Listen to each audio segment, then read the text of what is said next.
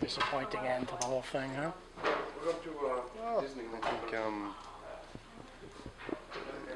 don't like to just really reflect on one game or I think it was- the season. Um, obviously wasn't uh, uh, how we envisioned it to go uh, after uh, the finish last year and, and even the start. So I think uh, just a, a little, obviously, uh, pretty disappointing the way it, uh, you know, not to be in the playoffs.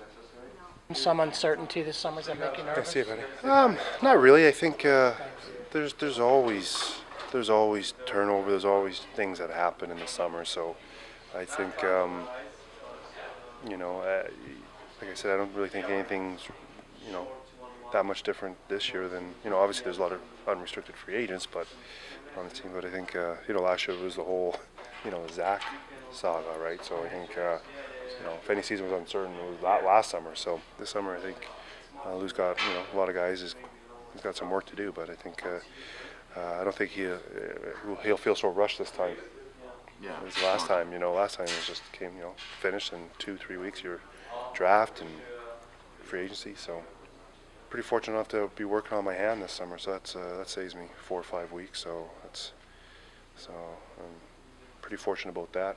It's uh, probably hopefully be cleared in a week or so, and Okay. and uh, and just got one more follow up, and and uh, so no surgery, and so I'm pretty. That's that's. Uh, if I can take any good news uh, of the season, that would be that.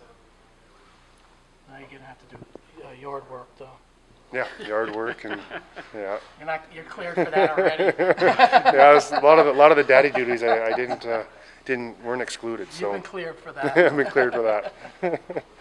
So just one more doctor's visit, and then you should be you should be fine. Is that what Yeah, you- yeah. So it was just a matter of following up, um, um, you know, just to see how the wrist is responded. So But it's much better than it was. Uh, it's gotten better. yeah, I think it's pretty much, I'd say almost 100 percent.